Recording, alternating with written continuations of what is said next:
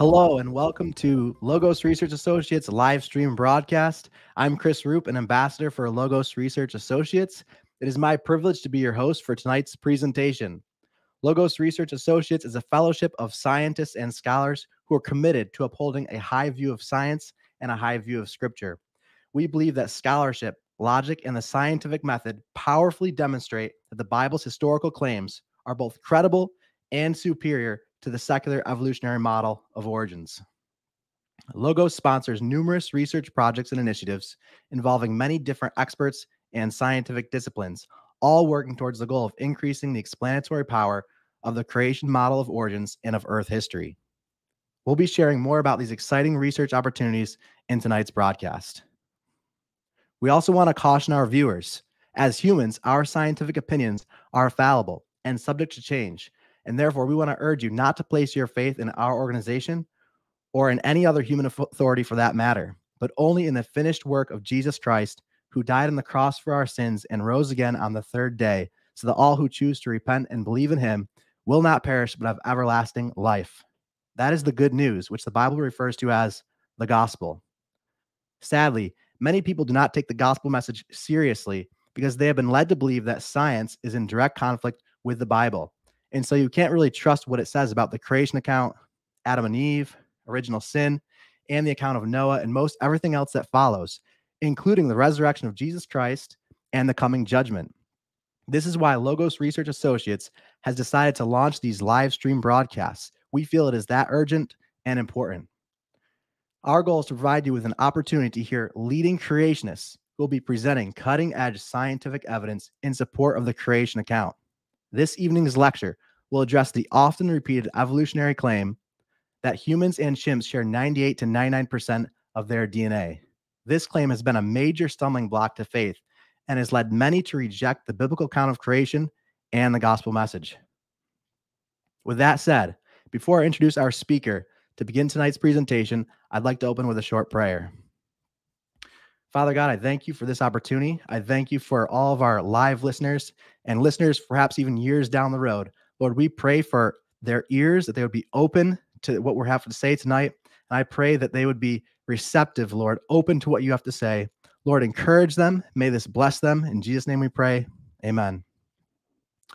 Throughout tonight's presentation, we encourage you to submit any comments or questions on your live chat panel through YouTube or Facebook.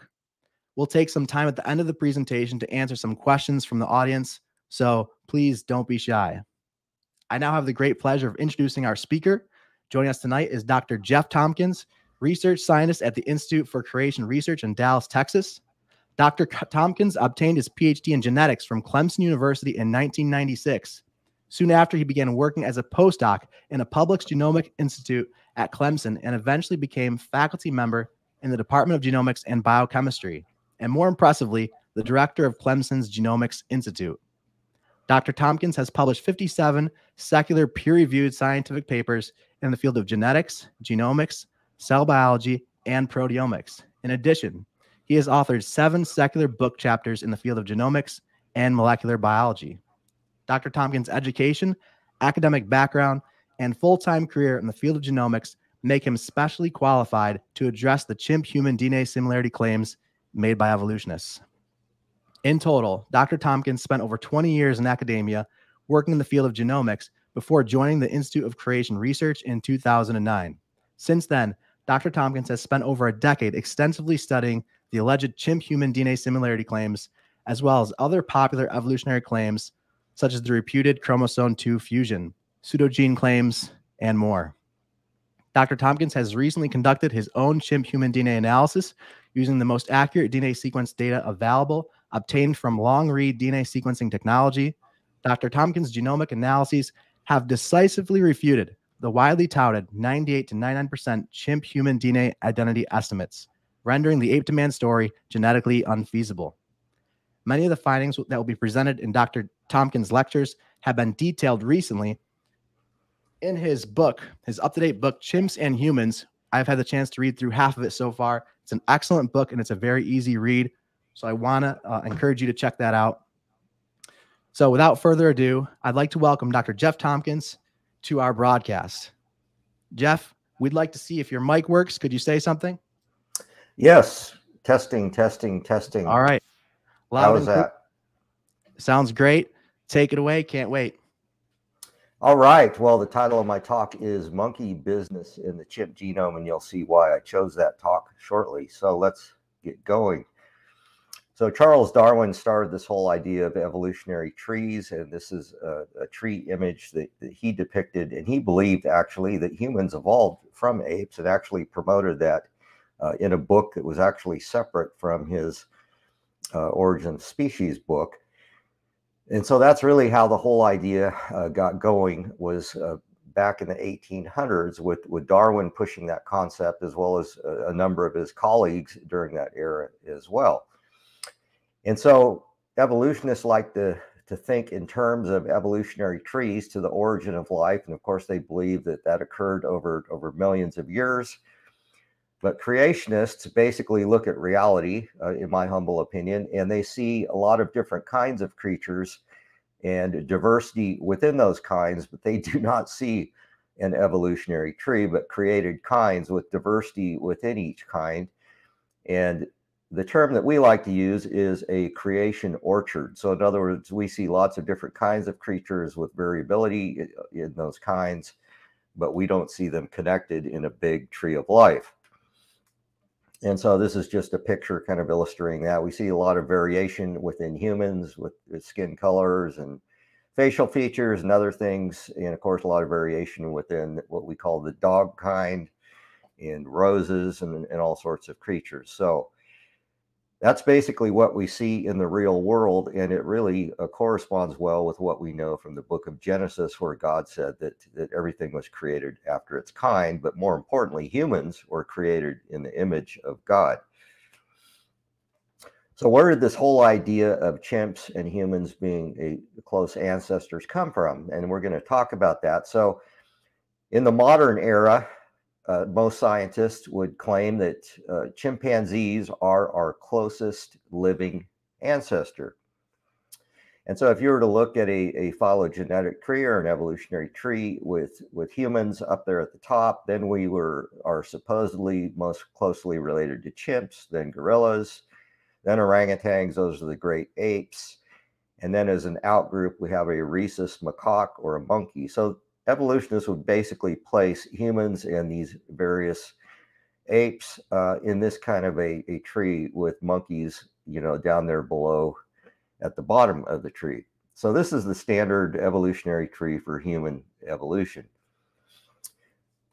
But as many of you know, uh, evolutionists never can really agree among themselves on, on most on most things. And this is an interesting paper that was actually published in 2009, and it's called The Evolution of the Second Orangutan Phylogeny and Biogeography of Hominid Origins. And these people actually claim that based on anatomical features, not DNA, uh, that humans are most closely related to orangutans because they tend to share more anatomical traits with orangutans the fact of the matter is, is that orangutans, uh, chimps, and and gorillas uh, are all created kinds. In my opinion, they all have their unique uh, composite of traits. And yes, you know there there are some rough similarities with humans, but they're all separate kinds.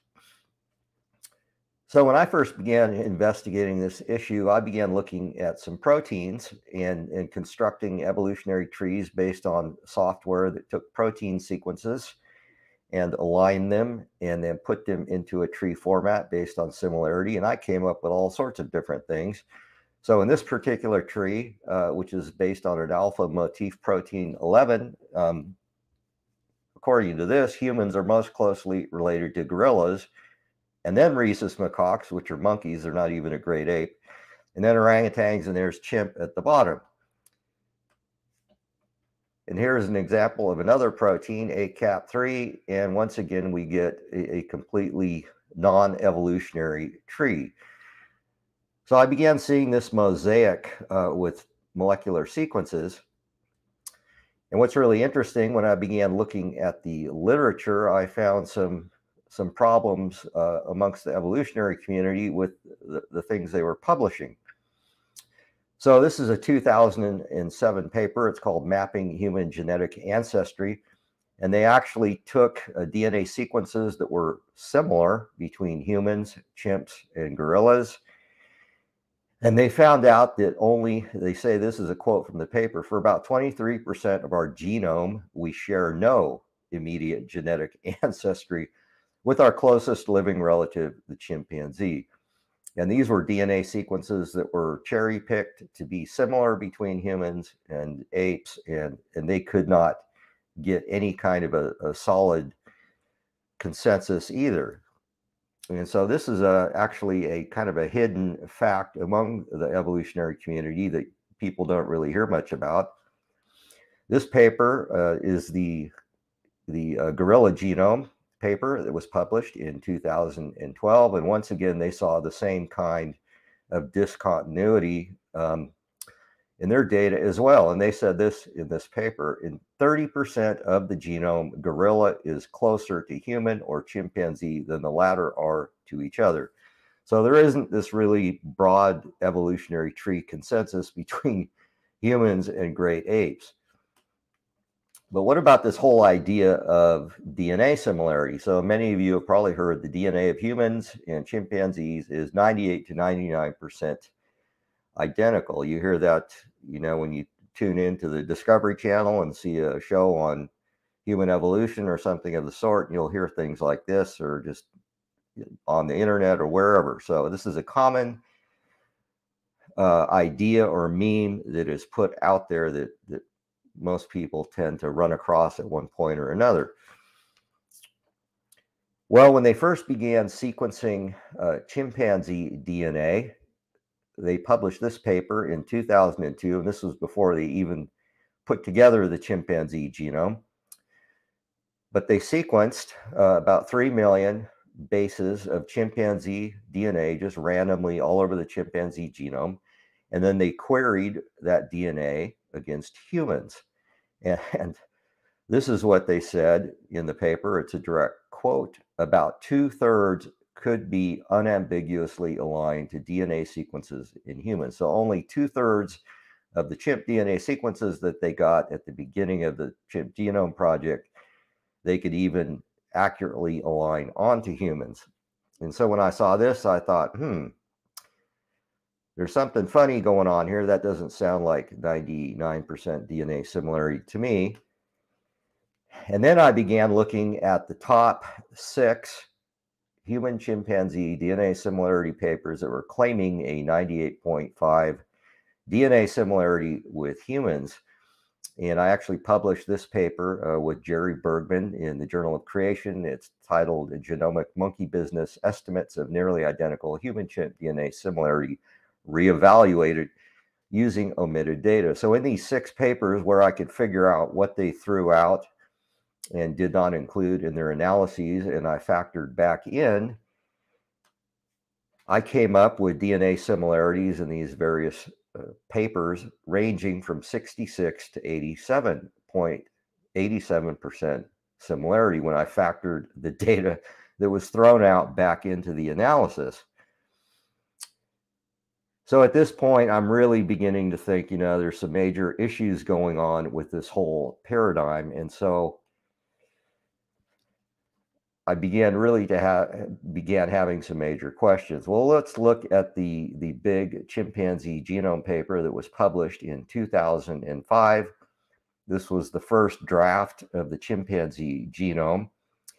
And I just did some basic calculations. I looked at the percent uh, alignment, DNA alignment identity. So when you compare two sequences to each other, you get a, an identity. And I multiplied that by the amount of DNA that was aligned. I divided that by the, the human genome size that they uh, knew at the time in 2004. And then, of course, just times 100 to get a percent. And just from this paper, I came up with an 81% overall DNA similarity, although they didn't say that in the paper, but you can go into the paper and do some basic, math and come up with that yourself. So at this point, I'm really beginning to have some major doubts about what the, the evolutionary community was pushing. So let's let's look into this whole idea of DNA similarity and, and so we can get some background on, on how you can determine that. So how have evolutionists achieved estimates of high similarity? Well, first of all, they've omitted the non-similar regions of the genome. And a lot of this is just, just a practical fact. You cannot compare regions of genomes that are so dissimilar that you can't even get the algorithm to match things up. And then that's one thing that I ran across in my own research. So they basically threw out the, the non-similar regions and they only compared the highly similar segments. In fact, one thing that, that's been very popular in the early days of comparing humans and chimps was to just to compare the exons or the protein coding regions of genes that were similar between chimps and humans. And more specifically, that was typically done just with the, the stuff uh, that was metabolic, metabolic type proteins that are basically similar between most mammals, anyways, even between, say, humans and rabbits or humans and rats. And so they would just compare those regions that were highly similar. So, what do we call this? Well, I call it cherry picking cherry picking the data to produce uh, information that supports your paradigm. Let's talk a little bit about the Human Genome Project. So the first uh, two drafts of the human genome were done in 2001, and there was two projects. One was going on in the public sector, and the other was in the private sector. And there's a picture of Craig Venter there and Francis Collins. Craig Venter was running the project in the private sector. Francis Collins at the time uh, was the head of the Human Genome Project, running it in the public sector. And so they agreed to publish their results at the same time. And that was 2001. That was the first draft of the human genome. And then this, the draft of the first draft of the chimp genome, which I mentioned previously, was done in 2005. And we're going to talk about what the difference is between these two projects, and that's actually very important. So, in the Human Genome Project, they literally had billions of dollars to throw at it. They had labs in the United States, in Europe, in Japan, contributing to the Human Genome Project. And it was a very uh, methodical and very well funded project as compared to the chimpanzee genome project where they didn't have a whole lot of money and you're going to see why that was uh, that's important to consider as well. So what about this whole idea of dna sequencing? So a lot of people out there think that dna sequencing is this cut and dry science that it's there's no you know you stick the DNA sequence in the in the machine and out or the you stick the sample in the machine and out comes the DNA sequence. So I've got a picture of the pictures from Star Trek there where they went to a new world and found some creature, took a sample, stuck it in the computer, and out came the DNA sequence. But unfortunately, it's not that simple. DNA sequencing is a somewhat uh, a messy affair, especially in the past when they were sequencing the chimp genome. So let's talk about these two different genome projects. So in the human genome sequencing project, it was very methodical. I call it a page by page sequencing strategy just to make it simple. So think of the human genome as a set of encyclopedias. Each encyclopedia would represent a chromosome, and then each page within each encyclopedia would represent a section of that chromosome. And so in the Human Genome Project, they literally did things page by page, very methodical. And because they had lots of money and lots of people working on it.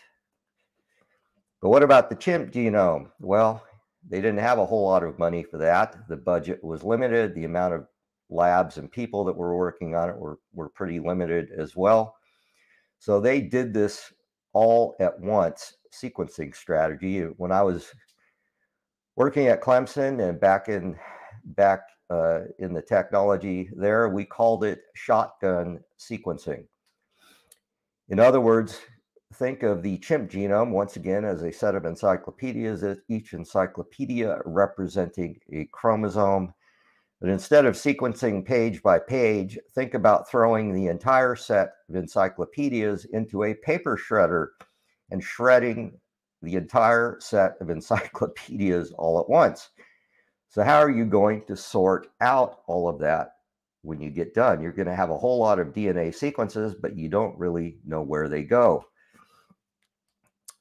So, is what they did was they assembled the chimpanzee DNA sequences that they produced, and on average, these were probably these were about 700 to 1200 bases long, based on the Sanger style sequencing that was used at the time, and they assembled them onto the human genome. Why? Because according to scientists, hey, we evolved from a chimp. Chimps are our closest ancestor. Let's just use the human genome to sort all of this out. And of course, they ended up with a rough draft, uh, but it was all assembled and lined up onto the human genome. So they had a whole lot of islands of DNA sequence that they aligned onto the human genome with lots of gaps in between. So I like to explain this to people by by thinking about how you would put together a jigsaw puzzle. My wife's parents love putting together jigsaw puzzles. Well, how do you do it? You dump all the pieces out, and how do you put them together? Well, you look at the picture on the box, or the little poster will come in the box, and you look at that. So, in other words, when they put together the chimp genome, they looked at the picture on the box, and what was that? That was human. That was the human genome. There's a lot of problems with this, and even the evolutionists themselves, or the scientists in the evolutionary community, have acknowledged this. So, this was a paper, a very important paper, in my opinion, that was published in 2018. It was published in Science, and this project was done at the Genome Center in Seattle, Washington. Uh, Evan Eichler was the head PI over this project, a very famous genomics guy. And they said this in this paper in 2018. And by the way, uh, this was done with brand new DNA sequencing technology that produced very long DNA sequences, is very accurate, and it also pretty much removed the problem of human DNA contamination, which we're going to talk about in just a little bit. But they admitted what was going on here in these early the early years of the chimp genome project, and also for that matter, uh, the gorilla genome project and the orangutan genome project. And they actually resequenced chimpanzee, uh, gorilla, and orangutan, resequenced their genomes with this brand new technology. And they said this in the paper higher quality human genome assemblies have often been used to guide the final stages of non human genome projects, meaning apes including the order and orientation of sequence contigs, and perhaps more importantly, the annotation of genes. And what was the end result of all of this? They say this bias has effectively humanized humanized other ape genome assemblies. A very honest and candid uh, statement, which I found to be entirely true in my studies of of ape genomes and especially chimpanzee. These genomes have been humanized because they were assembled and put together based on the human genome, admitted by the evolutionists themselves finally in 2018. Here's a very interesting uh, paper that was published, and the title of this actually, this was published about a year later by this Evan Eichler, the guy I just mentioned that was in charge of the other paper that we just talked about. And the title of this was Genetic Variation Comparative Genomics in the Diagnosis of Disease.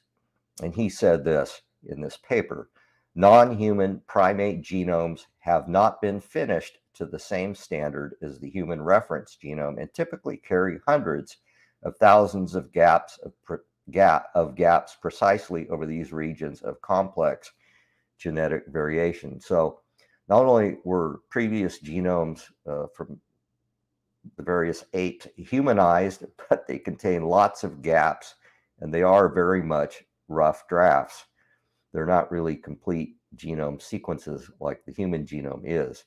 And I should mention, since 2001, when the first drafts of the human genome were first published, they have been uh, continuing to sequence the human genome and close all of the gaps in the human genome and produce a very uh, highly finished version of it. Although I don't know that they're still entirely done with human yet. There are still a few gaps here and there. Uh, but the human genome is relatively fairly complete now, but the ape genomes are still uh, in the rough draft uh, stage for all practical purposes. Well, one of the problems that I really began to run into in, in looking at uh, the chimpanzee genome and the DNA sequences that were produ produced during the, the Chimp Genome Project was this problem of human DNA contamination. So here's two papers that were published, one in 2011, one in 2016. Now, the one in 2011 says abundant, abundant human DNA contamination identified in non-primate genome databases. So they didn't even look at great apes. They looked at at other things that had been sequenced, other model genomes and creatures that had been sequenced. In fact, they found 3 million bases of DNA in the zebrafish genome on chromosome number three, entirely human. 3 million bases of a segment of a fish genome was entirely human because of human DNA contamination. And in 2016, they began looking at the problem again to see how pervasive it was. And they published this paper, Human Contamination in Public Genome Assembly. So they found out that some genomes in the public databases had literally up to 10% human DNA in them. So, how do you get human DNA in a fish genome or any other genome for that matter that's not human? Well, I ran a genome lab. I know what people in the lab do. I had roughly about 20 people working for me uh, in various functions. And in the lab, you know, people are talking, they're sneezing, they're coughing. You've got DNA on your fingers, on your, even if you're wearing gloves, you've got DNA on your gloves. There's DNA floating around in the air through the ventilation system. There's human DNA everywhere. And so in the early stages of genome projects, we had no clue that that this was that big of a deal, but it really was. So, so things have been improved uh, since then as far as lab techniques and, and, avoiding human DNA contamination. But it was a huge problem uh, in, in, the 1990s and and at least up through, I would say 2010, maybe even up to 2015. It was still a huge issue so anyway, so this brought up a lot of questions to me looking at these papers about all this human DNA contamination. I thought, is the chimpanzee genome really accurately assembled? You know, if it's based on the human genome, but more importantly, is human DNA contamination a problem in the chimp genome? Well, that would be a huge problem because that would really jack up the similarity. So let's talk about what is the actual DNA similarity between humans and chimpanzees and how can you even determine this? Let's kind of do a little uh, do a little lesson here on DNA similarity and, and how we look at that and, and assess that. So this is a hypothetical set of sequences. One is human, one is chimp.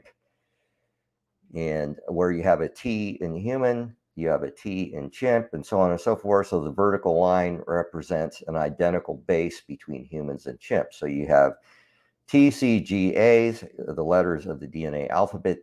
And you can see in this particular example, we have a 100% DNA similarity. So what if you get a base change that's different? So in this case, you can see in red, there's a C in human and an A in chimp. There's no vertical line there, meaning there's no match. So in this particular hypothetical example, 27 out of the 28 bases would match, and that would be a 96% similarity. But it's not that simple because not only do you have these base changes, which we call substitutions in the, the DNA sequencing business and comparing DNA sequences, but you also have these other things that we call indels or insertions and deletions. So indels can be a single base where you have an insertion in one creature that uh, is a single base, or you can have multiple bases. And in fact, indels or insertions and deletions can be anywhere from a single base up to thousands of bases. So in this particular hypothetical example, uh, we have substitutions, and if we just count those, we have a 98% similarity. But if we include the insertions and deletions in this particular example, we get an 81% similarity. So that's just kind of something to keep in mind as, as we're moving along here. So one of the uh, first papers that I did was in, uh, actually I did several, but th this was one of the, the ones where I finally was able to to get the algorithm to function properly. Because uh, when I first began getting into this whole area, I found out that the algorithm that, that NCBI or your tax dollars paid for uh, had major problems and would kick out DNA sequences when you did massively large data sets, which is what I was doing, which is what most people didn't use the algorithm for. They only used the algorithm for small data sets, but I was literally using it on millions of DNA sequences so I complained to NCBI and they actually fixed the algorithm based on my complaints and me sending them data and sending them results and so on. And they fixed the algorithm. So in 2016, I was actually working with an algorithm that was functioning properly based on my complaints and interaction with the NIH. And so I looked at all all 101 chimpanzee trace read data sets. So these are the the DNA sequences that come straight off the DNA sequencer. Uh, I trimmed them up to remove the the ends, you know, where the reads were were rather vague or whatever. So I trimmed these DNA sequences. I removed any uh, bacterial contamination, which is just common to do in the DNA sequencing business. And so I basically took uh, samples from each one of these 101 data sets. I sampled 25,000 DNA sequences at random uh, from each of the data sets, just based on the, out. The, I basically had to write a lot of my own algorithms in Python uh, to do the random sampling and just basic, you know, basic housekeeping stuff like that. But anyways, so I took uh, 25,000 DNA sequences at random from each of the 101 data sets that went into the Chimp Genome Project between 2002 and 2010. Those were the years that uh, that they used the Sanger-style DNA sequencing uh, to to put together the chimp genome. So I had a total of 2.5 million DNA sequences on average. Uh, after I trimmed them up and cleaned everything up, they were set about 700 bases long each. And then I queried those onto the human genome using the BLASTN algorithm. So is what I did was I just basically uh, logged the best hit. So, oops. So basically you get lots of, of hits in, in a, uh, a query with the BLASTN algorithm. It, it'll, it might hit all over the genome because it might have some repetitive sequence in it. So basically I just took the top hit, the best hit that had the longest read. And I uh, analyzed the top hits from all of those millions of DNA sequences. So this is the overall uh, identity of these DNA sequences. Uh, and I, I basically, the nice thing about Sanger style sequencing is, is that you get a lot of metadata with each DNA sequence. And so using uh, a relational database and, and, doing some programming with that in SQL, I basically was able to map out uh, the DNA similarity of these various data sets over time because each uh, DNA sequence had a timestamp on it when it was produced, what lab it was produced in, um, the date, you know, obviously it was produced on. And so I mapped all of this out. And the one thing that I saw over time, beginning in 2002 to 2011, when the last data set was produced, was the DNA similarity was dropping over time rather dramatically. Why was the DNA similarity of these chimp DNA data sets dropping over time? I think it was because of human DNA contamination. So just to make a long story short and to summarize this data, between 2002 and 2004, which was really the, the first half of the chimp genome project that went into that 2005 chimp rough draft genome assembly paper that we talked about, uh, the average DNA similarity of the sequences was 92% compared to human. However, during 2005 and 2011, it changed by 7% and it was only 85% similar to human. Uh, so what's going on here? Um, the DNA sequence actually came from the same chimp. His name was Clint. Clint the chimp. And uh, so why is his DNA sequence becoming considerably less similar to human over time? Well, I think it's because in the early years of the Chimp Genome Project, it was full of human DNA contamination, which we just talked about as being a major problem in the public databases. So what a mess. Um, it seemed like when I, the deeper I got into this project, the bigger a can of worms it was. it's just so anyways, you remember that I talked about that one particular paper that was published in 2018 where they used a brand new DNA sequencing technology. And so Evan Eichler's group uh, up at the University of Washington in Seattle, they've got these pat what they're called PacBio sequencers. It's a it's a proprietary uh, technology, but these sequencers cost roughly about three million bucks a piece but they produce really nice DNA sequence. Uh, in fact, they can produce DNA sequence reads that are 30,000 bases long or more. And you think about that compared to previous DNA sequencing technology, the uh, the early DNA sequencing technology, the Sanger style sequencing would produce reads about 700 to 1200 bases long. And then we had what was called the next generation sequencing or Illumina based short read sequencing, where although they could produce considerably more sequence, a greater amount of bulk sequence, the sequences were actually, once you paired the reads up, were only about 300 bases long. So you look at this new technology where they can actually produce 30,000 high quality bases of DNA in a in a single DNA read. That's pretty impressive. And so with this new technology, not only do you get longer reads and uh, you know you're able to produce better genome assemblies, but you can also pretty much tell with a 30,000 base read whether there's it's human DNA contamination uh, or it's really chimp DNA because it's a sequencing by synthesis type reaction. So, anyways, you get lots of bases, and for the most part, it's pretty accurate. And so, anyway, so I downloaded uh, 18,000 random uh, PacBio sequences that I pulled off the NCBI database.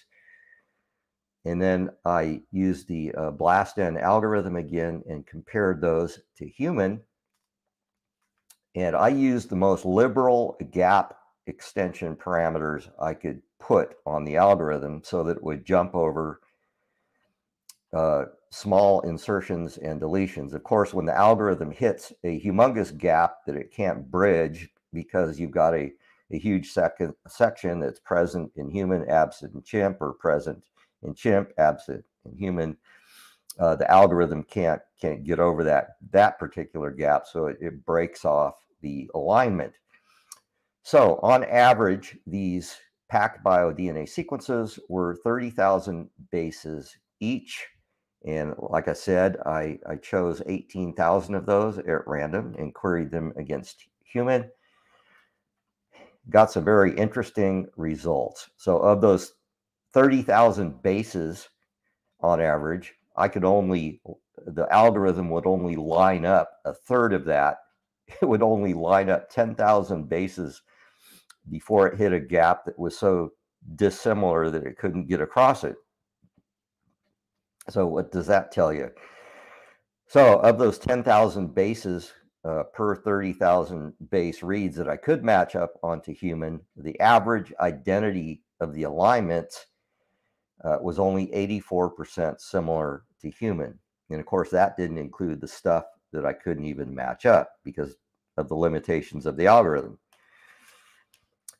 So, and I actually published a paper on that, and Chris Rupe, I think, put up a link uh, to that 2018 paper that I published. But what was really interesting was the very same year I published my paper, Richard Buggs, who is a professor of evolutionary genomics at the University of London, Queen Mary, actually took data from a different algorithm. It was the BLAST X algorithm and he downloaded it and did an analysis uh, himself and found out that overall the chimp genome was only 84% similar to human. Pretty much the exact same number that I came up with. And to my knowledge, Richard Buggs has not uh, budged on this. And so, very interesting. Two separate projects, the same maximum DNA similarity. And of course, Buggs' project as well did not include uh, the regions of the genome that were so different that you couldn't even compare them. So 84% maximum. Uh, the real similarity overall is probably much less than that. So what's the what's the big evolutionary problem with 84%? A lot of people ask me that when we go and, and speak in churches and things.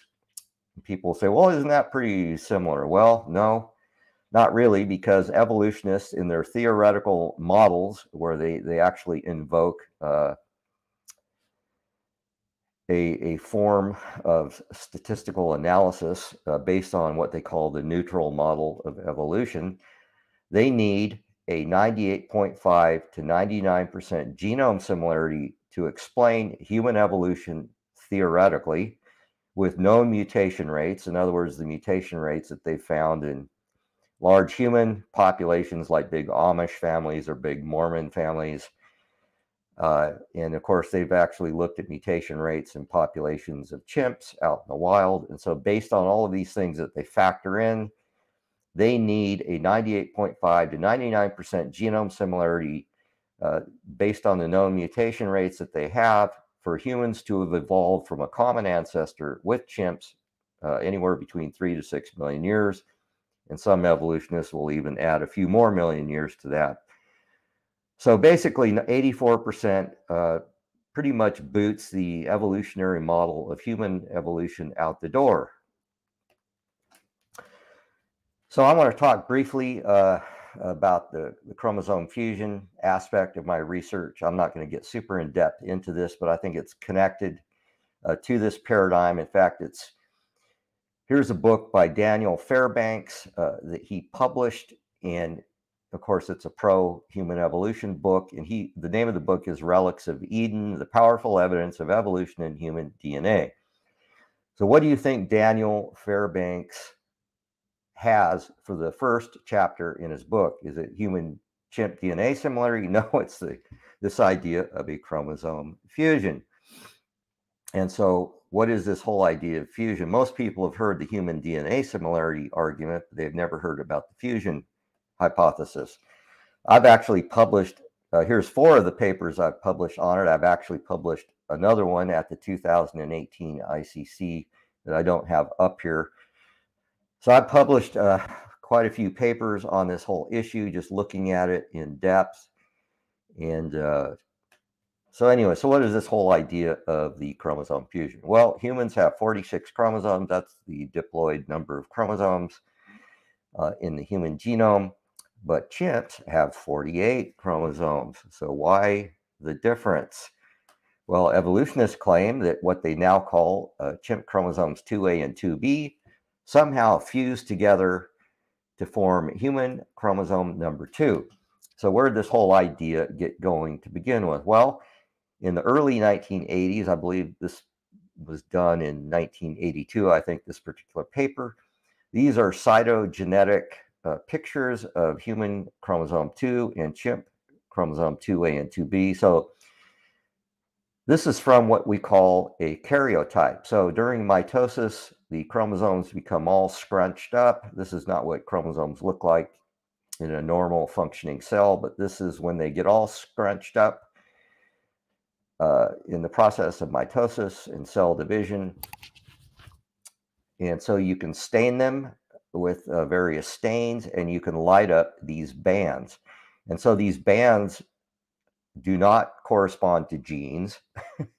they, they correspond to basically GC content and AT content in the chromosomes. But, anyways, so it's a very crude way of doing DNA similarity. But, anyways, evolutionists noticed that the chimp chromosomes 2A and 2B had a lot of similar bands, or in other words, just similar GC content in various regions to human. And so they lined them up like this. One of the problems is, is about 10%, uh, I can't remember if this is chromosome 2A or 2B, but one of them isn't even represented in the so-called fusion. That's a pretty big chunk of DNA there. And of course, all of the bands aren't really nearly identical anyways. But based on this crude cytogenetic similarity, they claim that chromosome 2A and 2B fuse to form human chromosome 2.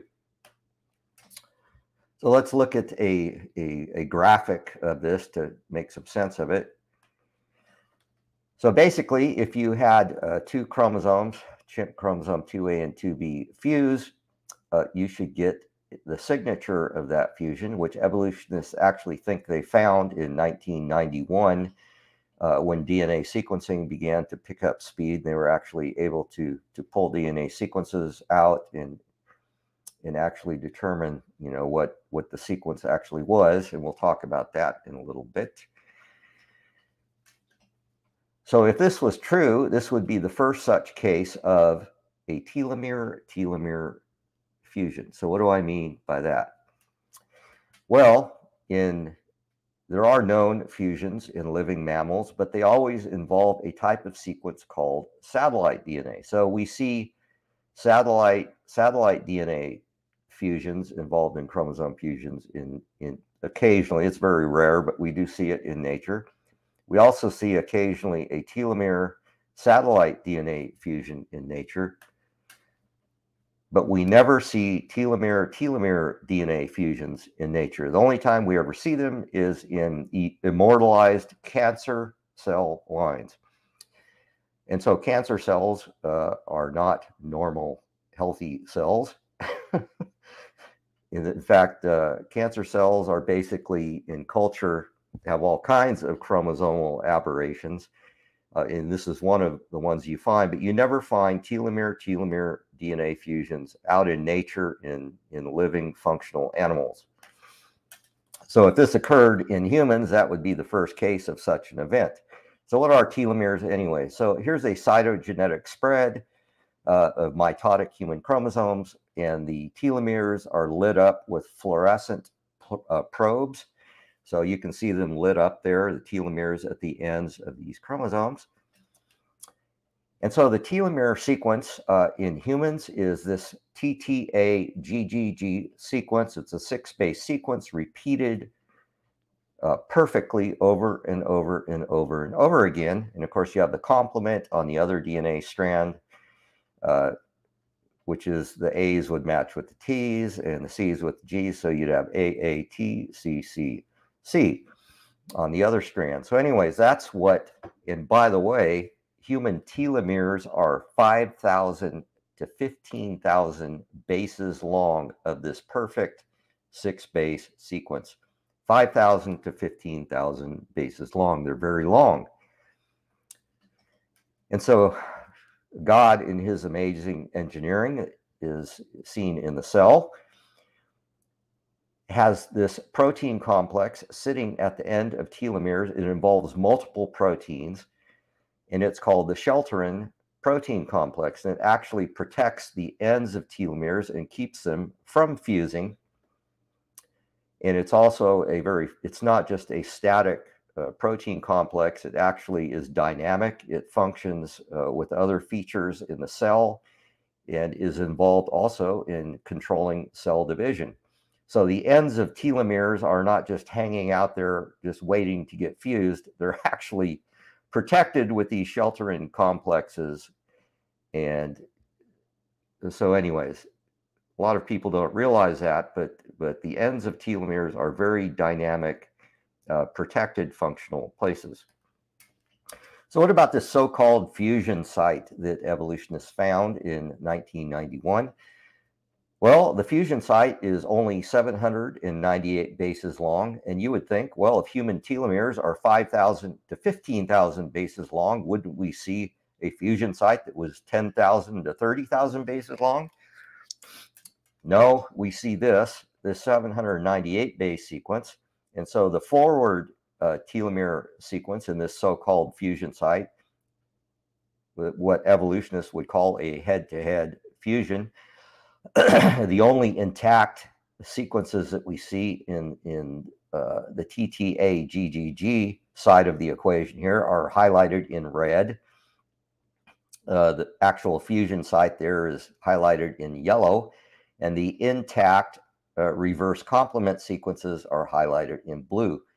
And so when evolutionists actually found this, uh, they called it uh, very degenerate for obvious reasons because we're not seeing perfect uh, telomeres here, telomere sequences being fused. It's very degenerate. In fact, it's only about 70% similar to what would be a pristine fusion uh, of the same size, 798 bases. So it's got some issues. And why is it this degenerate if humans only evolved from chimps or a chimp, an ancestor that we shared with chimps three to six million years ago? And so I began looking into this even more. So I actually uh, began by first querying the uh, 798 base pair uh, fusion site. Uh, I queried it onto the human genome, and it actually hit in multiple places uh, there on chromosome 2. And in fact, it hit in various places all over the human genome and I was actually have been discussing with Chris Rupe here that it looks like there's a multiple uh, head-to-head so-called fusion sites, if you want to call them that, in in the human genome. I'm actually going to be looking at another one, and hopefully uh, publishing on that sometime in the future. But you can look. There's a number of chromosomes where this fusion site actually hit in multiple locations, and so actually my 2018 ICC paper, I showed that there were internal uh, human telomere sequences all over the human genome. And in fact, I actually was able to intersect those locations with various uh, ENCODE data sets and show that many of them actually are very functional. But I also queried the 798 base uh, pair so-called fusion site onto the chimp genome. And as you can see, I got a lot less hits. but what about 2A and 2B where we should get really strong hits? Well, nothing there really at all. But that was just preliminary data. And that, when I really began looking into things, I found uh, these two papers that were published in 2002, actually by the same group. And so they actually sequenced 614,000 bases surrounding the, the uh, fusion site on human chromosome 2 because they were interested in really figuring out what was going on here with the fusion. And the one thing that I found in one of the papers, it looked like in one of the figures that the fusion site was inside a gene, although they didn't talk about it in the text of the paper, but they, they actually, it appeared in one of the figures. And in fact, there was genes all around the fusion site. So what are genes doing all over the place around the fusion site? Uh, if this if this uh, supposedly involved telomeres, because there are no genes in human telomeres. There are genes in subtelomeres, but not in the telomeres. So what are all these genes doing around here? And what in the world is the fusion site doing inside a gene, or at least what appeared to be inside a gene? So after noticing this, I began doing my own research. I went to the public databases and began pulling out uh, the fusion site based on more more recent genomic data. Because of course, in 2002 they hadn't they only had a rough draft of the human genome. But when I began investigating this further, uh, they had much better sequence for the human genome, and I began investigating it, and I noticed that the fusion site was indeed inside a gene. And so it's a long non-coding RNA gene. So uh, long non-coding RNA genes, they do not code for proteins. uh, but they code for functional RNAs, which are a very important feature of the human genome. Long non-coding RNAs now are, are actually considered to be the workhorses uh, of the human genome. Some of them stay in the nucleus, some go in the cytoplasm, some are even exported uh, out of the cell to other parts of the body.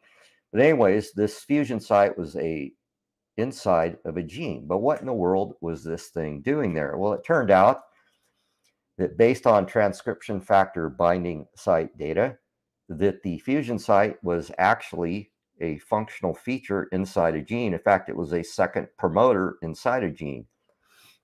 So most genes in the human genome, whether long non-coding RNA genes or protein coding genes, have multiple promoters, including promoters inside the gene. And in fact, the fusion site uh, was a functional promoter inside this long non-coding RNA gene. It's a DDX11L2 is the name of the gene.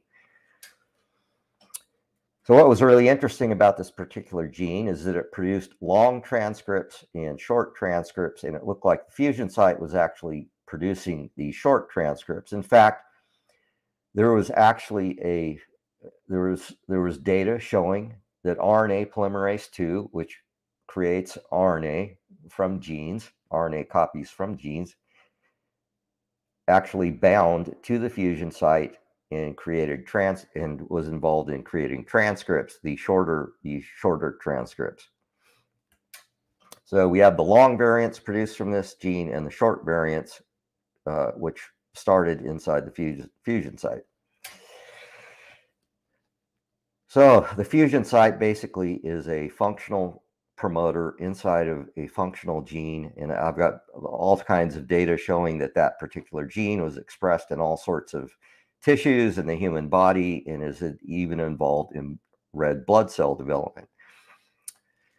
But if you had a fusion, you should also get a extra centromere. So centromeres are these little pinched off sections in this graphic here. Centromeres are very important. They're involved in cell division and so the apparatus that separates chromosomes during replicated chromosomes during cell division will actually bind to the centromere and, and control that uh, process. So centromeres are very important functional features in chromosomes. Well, if you had a fusion of two small chimp chromosomes, you should get a cryptic centromere. And evolutionists actually claim, oh, there is a cryptic centromere even though it's less uh, to them, it's less profound than the so-called fusion site. And so I began looking at the so-called cryptic centromere.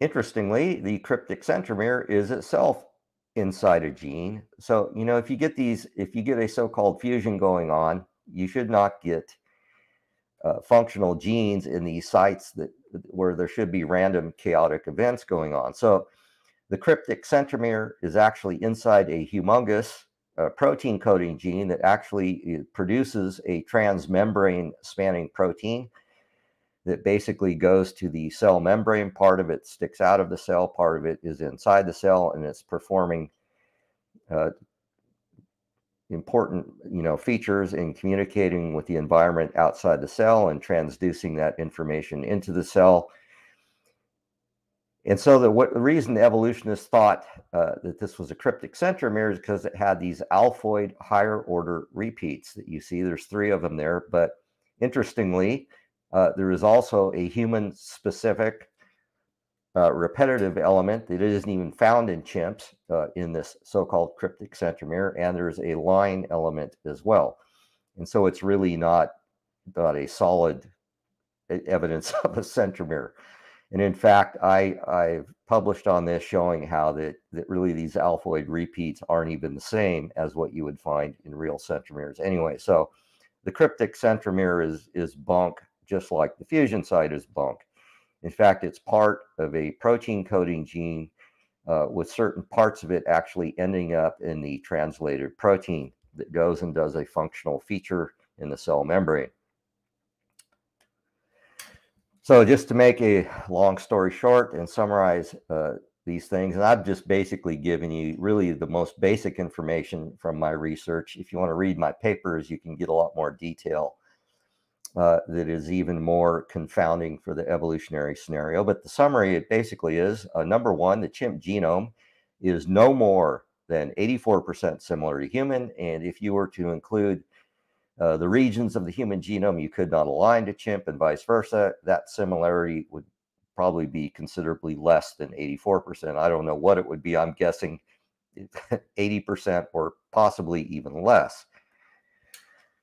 And of course, the alleged fusion site is not some random chaotic piece of evidence for a fusion or two chromosomes slamming together and fusing. No, it is a functional promoter inside of a functional gene that does important things. So, and finally, the alleged cryptic centromere uh, is itself also a functional feature uh, inside actually an important protein coding gene. And so I've also published papers uh, on a whole variety of pseudogene topics, uh, actually analyzing a variety of so called pseudogenes as well, but I'm not going to include those in this talk, but they are in my book, uh, Chimps and Humans, which you can get at icr.org. You just go to icr.org and there's a link uh, to our store, and then you can go there and find Chimps and Humans. A geneticist discovers DNA evidence that challenges evolution. And I also have another book called The Design and Complexity of the Cell, where I talk about various features in the cell and about how they're intricately designed and engineered in, in just a mind boggling, amazing way. And of course, all of this is evidence for Genesis being true and being accurate, as, as Chris said at the beginning uh, of my talk. So, anyways, that is it. And uh, I can answer some questions now if you would like. So, Chris, take it away. Jeff, that was excellent. Thank you so much for presenting. Um, I thought it was really interesting to learn that the chimpanzee genome has been humanized, and that's been recently acknowledged in the 2018 science paper. I can recall that you actually had mentioned that several times in the past that it had been humanized. So nice to see that that is now acknowledged. Um, I just have a few questions from our audience for you, Jeff. If you have some time, sure. Uh, our first, our first one comes from Gutsick Gibbon. That's her handle name. She says, "Are chimpanzees and bonobos different kinds?" Great question. No, they're interfertile. They're they're chimps. okay, this is from Standing for Truth. Uh, he says, have we derived a percentage of genetic similarity between humans using the same methodology used to get the 84% similarity between humans and chimpanzees? Would it be 99%? God bless. Yeah, that's a really great question. And actually, I had a guy, he's a friend of mine. He's actually involved uh, in the in the Human Genome Project. His specialty is retro elements and transposable elements. And he's I can't give his name because he's he's trying to lay low. Uh, but he alerted me to a paper that was published uh, several years ago where it talked about these regions of the human genome that have structural variation. They call them structural variants. So if you compare any two human genomes and you're just looking at what we call SNPs or single nucleotide polymorphisms, which are just single base changes, yeah, any two human genomes can be roughly 99% similar to each other. But if you compare the structural variants between any two human genomes, they can be up to four and a half percent different from each other. So if any hmm. two humans based on structural variants can, you know, be up to 5% difference from each other, why, how are we only 1% different from a chimp? So you know, we have a lot to learn, I think, about genome structure and variation, and and even in the human genome, where they're still trying to uh, figure out all this structural variation that's present. So, I think with this new DNA sequencing technology, the PacBio sequencing technology, and there's there's Ion Torrent and other chemistries out there as well. They're proprietary that produce long reads uh, I think we're going to see a lot of really amazing, uh, interesting things coming out of, of the Human Genome Project. Great job, Dr. Tomkins. Thank you. Another question from Creation Myths Does a 1000 base pair deletion present in one genome but not the other count as a single difference or 1000 differences in your methodology? Uh, I'm not sure how I would answer that. I mean, it's it's it's just a thousand base difference. So, yeah, I, I don't know that I would put any label on that necessarily, other than it's just a difference. It's a thousand base difference hypothetically, if that's what we're looking at. Yeah. Okay. This is. I mean, my my my methodology is is looking at the overall picture, not just trying to you know kind of narrow it down to some. Uh, yeah. Anyways. Okay. Um, this is from Gutsick Gibbon. Do you have any predictions on the similarity between other kinds you would accept as so? Cats, lions, dogs, wolves, rats, mice. Do you feel genetics is the way forward with kinds? I've actually looked at that uh, issue with a friend of mine who is a bioinformaticist. Uh, he worked in the biomedical field, and now he's he was working for big pharma doing bioinformatics. Um, it's really difficult. You're, it's like comparing apples and oranges. So when if you if you were to look at say humans and rabbits or humans and rats or whatever, you've got different chromosome numbers, different chromosome structures, different gene neighborhood structures. So gene neighborhoods are very interesting. Uh, that's the, basically the the content of genes within a, a large section of a chromosome. Uh, it's it's almost impossible, really, uh, to compare, you know, stuff that is is so dissimilar. Um, it, we we did make an attempt at it, but and we tried to, to create these coefficients of, of similarity statistically, uh, but it was it it was just too difficult to to really get to the bottom uh, uh to the bottom of that. Okay, this question is from Joel Duff. He asks, from a young Earth perspective, can we make a testable prediction about what the genetic similarity would be between a wolf and a gray fox, or a cheetah and a lion using your methodology? That's an interesting question. I guess that would be a fun, uh, fun project to, to do that. That's interesting. Yeah.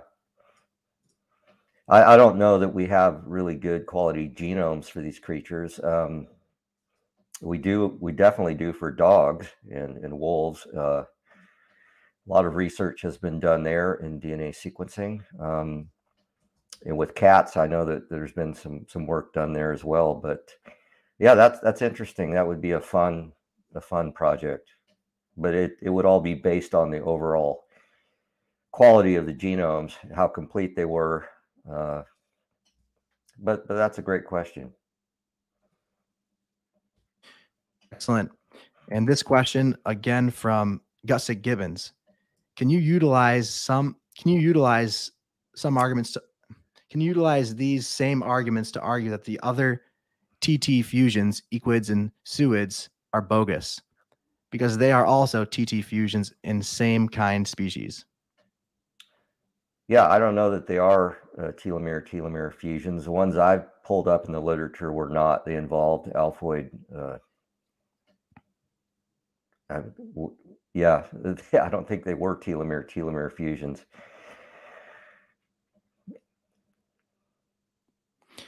Okay. Any final thoughts on that?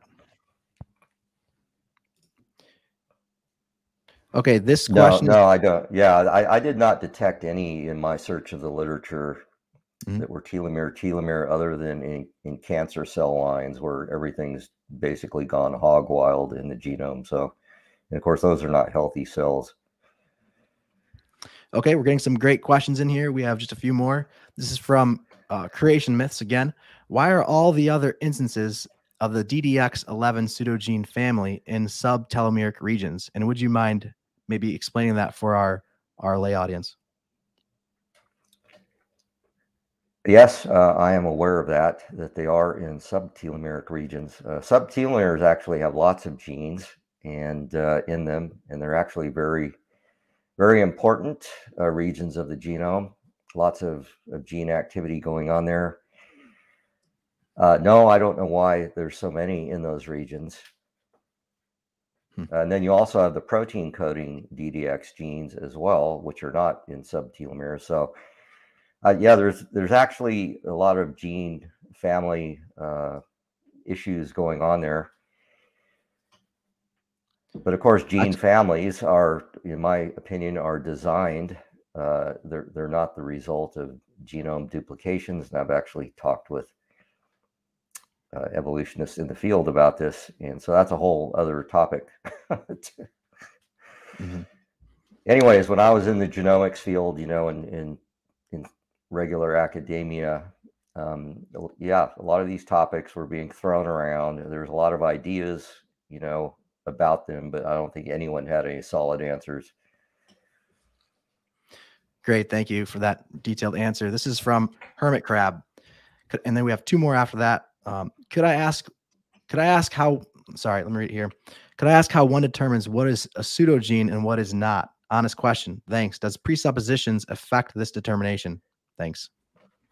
Yeah, pseudogenes, uh, they have found out in the ENCODE project, uh, for the most part, are functional. Uh, the one that I found that was actually broken was the GULO pseudogene. And in fact, it, for whatever reason, it tends to be broken in a lot of creatures, birds, and various mammals. And I think it's a real, it is a real broken gene. And that's, and it's broken because, uh, well, first of all, sin entered the picture and caused a curse on creation, and, and genomes have been devolving, not evolving, since uh, the original creation. So we should expect to see to see regions of the genome that that are mutated and, and broken just because uh, of that. So your genomes are not evolving and getting better; they're devolving and losing information. But most of the pseudogenes uh, that scientists have discovered are actually functional genes in gene networks. And I've documented this in a number of my papers. And of course, this is all documented, you know, through the ENCODE project, the Encyclopedia of DNA Elements project, uh, which kicked in in the early 2000s. They had their first round of papers published in 2007, and then did another huge round of papers that were published in 2012. But the ENCODE project is has exploded, and so it's there's researchers studying pseudogenes, which technically are long non-coding RNA genes in the genome, and they they function. Uh, they're functionally important. A lot of them, uh, when they're broken, have been associated with human disease like cancer, diabetes, heart disease, things like that. So long non-coding RNA genes are really it's the hot area in in biomedical genomics right now. Uh, so if you're a young person and you want to do a PhD uh, in in genomics, I would get into the biomedical area and into some lab uh, that has ENCODE like funding, and you would be definitely on the bleeding edge of what's going on in genomics. And much of that is going on right now with, with not only uh, epigenetics and histone modifications and the 3D structure of the genome and so forth, but uh, in long non-coding RNAs, which are are incredibly uh, important in the function of human health and the genome. In fact, many protein coding genes now have antisense uh, transcripts that are produced as well as the protein coding transcript being produced. And the, the antisense transcript actually uh, regulates the transcriptional process and, and who knows what else it's it's doing. But the, the genome now and, and what's going on is so complex that it's really it's almost impossible for any one person to even wrap their brain around it at this point. But, Thanks, Dr. Tomkins. These next yeah. two, these final two questions Sorry, did you have more thoughts? I don't want to cut you off. No, no, no, I didn't. Okay, these final questions are anonymous sub- submissions. Uh, this one here is related to what you're just talking about. How do you know the DDX11L2 gene or the non-translated pseudogene is functional? Well, there's databases uh, out there that show what tissues uh, it is expressed in, uh, the networks that it is part of, the gene expression networks that is part of. There's multiple databases that I accessed Uh, it's actually in my papers that that data that I that I pulled out. Uh, some of these databases were in Japan, some were in the United States, with associated with the NIH, some were in England, associated with the Genome Project there. Uh, but yes, it has been placed within uh, functional uh, gene networks. Uh, like I said, one of them was associated with blood cell development and connected with a lot of other genes. So you can basically uh, create these maps where you can connect genes uh, based on their, their expression into networks and assign functionality to them based on the processes that they're associated with, the tissues that they're expressed in, is I, I discuss this in my papers uh, associated with that particular gene. Very good. Thank you. So this is our final anonymous question. And then after that, we're going to close. So this is, um, uh, here's the question. A well-known creation scientist, Dr. Marcus Ross, has stated in a recent interview on YouTube that your estimate of 80% or 84% uh, chimp human DNA identity is inaccurate and should be closer to 94% because your analysis counted all differences equally including duplications and insertions, and does not account for genome size differences. Is it true that if you account for these things, your estimate would be closer to 94%?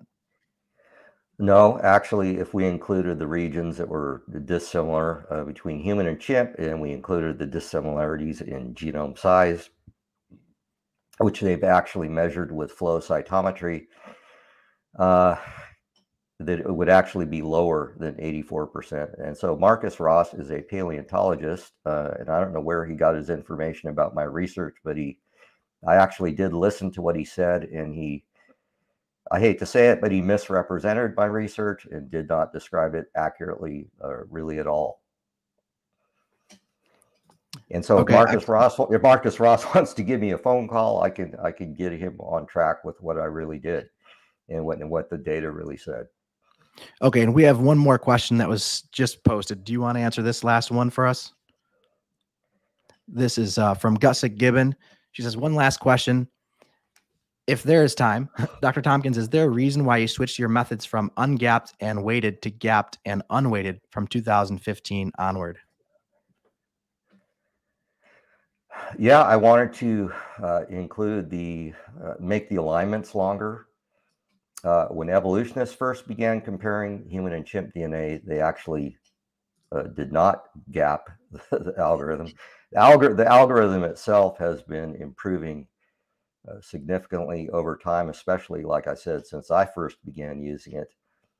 And uh, and actually, the algorithm was improved based on my own complaints and interaction with the NIH and sending them data and you know from my analyses and convincing them that they needed to fix it but so the algorithm has improved over time uh, where i could include uh, better alignment uh, features in it in, increase the the length of the alignments by by you know allowing for very liberal gapping.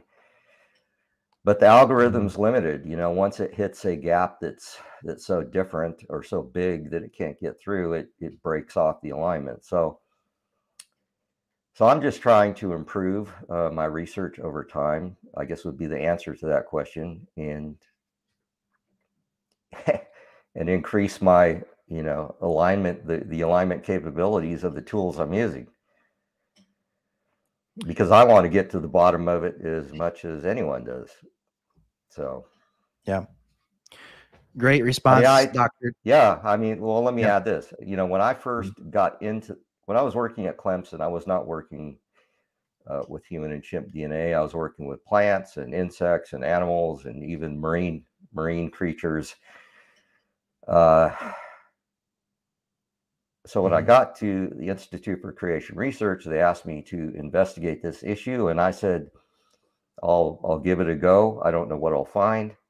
Uh, I've got no presuppositions about what the similarity is. I've got to dig into the literature. I've got to dig into the data, and whatever I find, I find. And so, you know, that's what I did. And over the years, um, the tools have improved. I've utilized the improvement of those tools. I've tried to to you know increase the uh, mm. amount of data that I've used, and and I've tried to use better data. Like I said, I finally had to abandon uh, the uh, the old DNA sequence data that was produced with the Sanger style sequencing, and uh, and use this new data from this long read technology that I, in my opinion, is much better. So, yeah, it's just been a long process, a long haul, and you know, basically what I've shared tonight is is is the most up to date uh, assessment that I can give you at this point. So, you know, maybe in the future I can I can have even more data to share, hopefully. So. Well, Dr. Tomkins, you've done some great research over the years. We're so grateful for your contribution. And uh, we're about more than 15 minutes over, so we're going to have to close pretty quick here. So, Dr. Tomkins, thanks again for coming. Uh, excellent presentation. Great, great job with the questions. And as a reminder, I want to encourage anyone who is watching to check out the Logos Research Associates website. You can learn more about the various research efforts and research initiatives we're, we're, we're um, posting. We're hoping to get more funding for those. So please check it out. Submit your email address so you can stay updated. And we'll also give you some uh, heads up for these upcoming live broadcasts. We're going to have more creation scientists uh, present, and I think you're going to be really excited about what's ahead. So our next presentation, sorry, our next presentation will be on Wednesday, June 14th at 9 p.m. Eastern. Our presenter will be geophysicist Dr. John Baumgardner, a Logos Research Associate who has done extensive research on catastrophic plate tectonics during the Genesis flood. So you'll want to mark that in your calendars. And with that, that's about it. So I'm just going to close in a quick prayer and we'll we'll end. Dear Lord, thank you so much for all the participants, uh, skeptics, and um, seekers alike. We're so grateful that they're here. That's why we're doing this. We love them. We want them to uh, know who you are, that you're a real God, that you're a living God. So, Father, we just ask that you would encourage them. Thank you for this broadcast and and thank you for what lies ahead. In Jesus' name we pray. Amen. Thank you all. Um, with that, stay tuned for our upcoming broadcast. God bless.